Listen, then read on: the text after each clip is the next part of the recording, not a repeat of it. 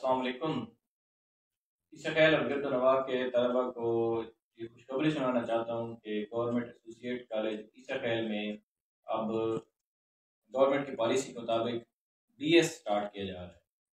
B S में होगा ये कि हमारे यहाँ इस साल दाखिल हो रहे हैं सेमेस्टर, सिस्टम की तर्ज पर। बी एस के दो साल यहाँ पे लगाए जाएँगे और उसके बाद जो है अगले दो साल यूनिवर्सिटी में लगाए जाएँगे हमारे यहाँ इस सेशन में चार सब्जेक्ट ऑफ़र कर रहे हैं। आर्ट्स के दो सब्जेक्ट हैं, दो साइंस के सब्जेक्ट हैं।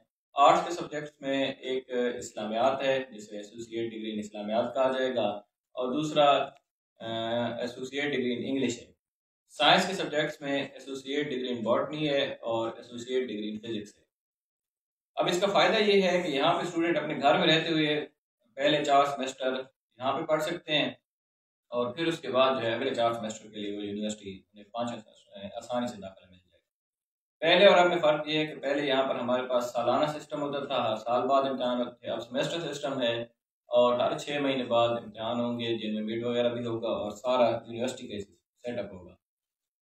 इसका, इससे मज़ीद ज़्यादा बड़ा फ़ायदा ये भी है स्टूडेंट्स को कि यहाँ पर जो यूनिवर्सिटी की फ़ीस पर सेमेस्टर चौबीस से तीस हज़ार पे कर रहे थे और हॉस्टल फ़ीस अलहदा पे कर रहे थे।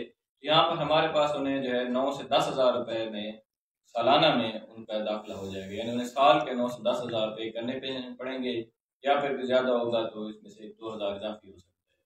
तो मैं फिर याद दहानी कराना चाहता हूँ कि हमारे पास associate degree in इस्लामियात associate degree in English associate degree in botany और एसोसिएट डिग्री इन फिजिक्स हमारे पास दाखिले शुरू हैं, चार सेमेस्टर यहाँ पढ़ेंगे, अगले चार सेमेस्टर के लिए स्टूडेंट्स जिस यूनिवर्सिटी में भी दाखिला लेना चाहें तो इन मजमूनों में आगे आगे दाखिला ले सकते हैं।